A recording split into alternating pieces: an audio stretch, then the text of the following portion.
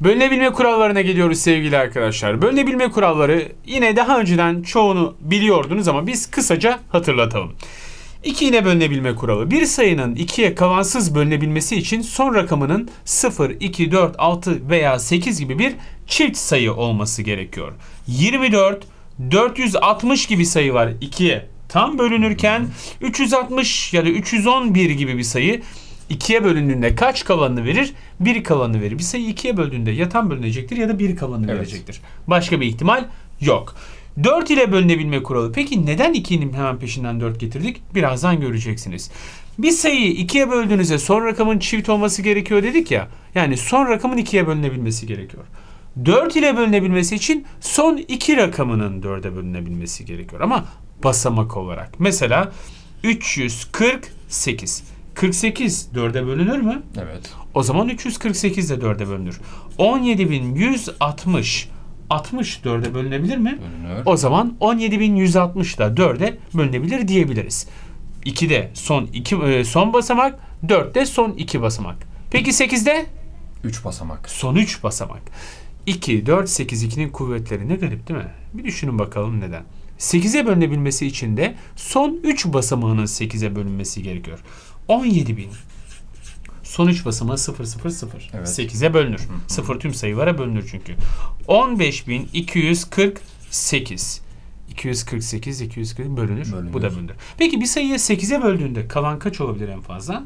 7 olabilir. Evet. Bir sayıyı 8'e böldüğünüzde sıfırdan 7'ye kadar kalanlar elde edebilirsiniz. 7'den daha yukarı bir kalan olmaz. Çünkü hatırlayın bölme bölünebilme kurallarında bölen sayı kalandan daima ne olmak zorundaydı? Büyük olmak zorundaydı. Peki 3 ile bölünebilme. Bir sayının 3 ile bölünebilmesi için rakamları toplamının 3 veya 3'ün katı olması gerekiyor. 17 1 171. Rakamları toplamı kaç? 9. 3'e bölünür. Ya bu çok ilginç değilmiş. Birazdan formülünü vereceğiz ama neden Tamam. böyle olduğunu. Çok özel videomuzda bölünebilme kurallarının nereden geldiğini açıklayacağız. O zaman aa aslında hiç de ilginç değilmiş. Çok mantıklıymış diyeceksiniz. 10.002 rakamları toplamı 3'ün katı mı? Evet 3'e bölünebilir. Bilir. Peki 442 rakamları toplamı kaç? 10. Onu 3'e böldüğünde kaç kalır? 1 kalır. O zaman 442'yi 3'e böldüğünde de 1 kalacaktır. Yani kalanlarla da böyle bir kural var. Bunlar bölünebilme sorularında işimize yarayacak. Yarayacak tabii ki. 9 ile bölünebilme aynı 3 ile bölünebilme gibi rakamların toplamını ilgilendiren bir kuraldır. Rakamların toplamı 9'un katı olmalı. 9, 2, 0, 0, 7, 9 gibi 5 basamaklı bir sayı bakıyorum. Rakamları 9'un katı mı? Hı hı. Evet.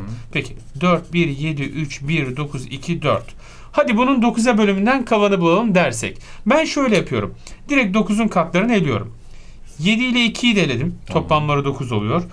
4, 3 daha 7. Şu 2'yi de eledim. 9 oluyor. Hop 4 kaldı. Demek ki bu sayıyı 9'a bölümümüzde kalan kaç olacaktır?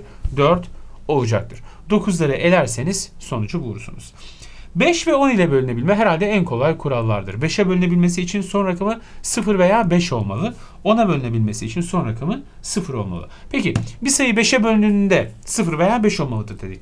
5'e bölündüğünde 1 kalanını veren bir sayının son rakamı kaçtır? O zaman ya 1'dir ya 6'dır. Çok güzel. Eğer bir sayıyı 5'e böldüğünüzde 1 kalanını veriyorsa son rakamı ya 1 olacak ya da 6 olacak. Çünkü dikkat edin 6 ile biten sayıları da 5'e böldüğünüzde 1 Ya kalanı verir. Aslında kendileri de kafalarında örnek vererek düşünebilirler mesela. Hani 36 deyip işte hani 5'e böl 1 kalıyor. Peki 11 ile bölünebilme. İşte bu biraz vakit alacak demişiz. Bakın sayı kaç basamaklı olursa olsun. Kaç basamaklı olsun? 5 basamak. A, B, C, D, E, F 6 basamak. En sağdan artı ile başlayacaksınız. En kapağı nerede en sağdan artı ile başladık. Artı, eksi, artı, eksi, artı, eksi. Daha sonra bunları toplayacaksınız. Eksi A artı B eksi C artı D eksi E artı F. Eğer çıkan sonuç 0 veya 11'in herhangi bir katı çıkıyorsa bu sayı 11'e kavansız bölünür. Ama sonuç 11'den e, farklı çıkıyorsa mesela 43 çıktı. 43'ü 11'e bölersiniz. Kaç kalıyor? 9 mu kalıyor? Yok 10 kalıyor. 33. 10 kalıyor. Demek ki bu sayıyı da dö- 11'e böldüğümüzde kaç kalacaktır? 10 kalacaktır. Ya da sonuç negatif mi çıktı? Eksi 5 mi? Eğer kalan sayı negatifse hemen onu pozitif yapaca- yapana kadar sayı ekleyeceksiniz. 11 11 ekleyeceksiniz. Eksi 5'i 11 ekleyin. 6 mı? Evet. O zaman burada sonuç kalan sayı yani 6'dır. Negatif bir kalan olmaz çünkü.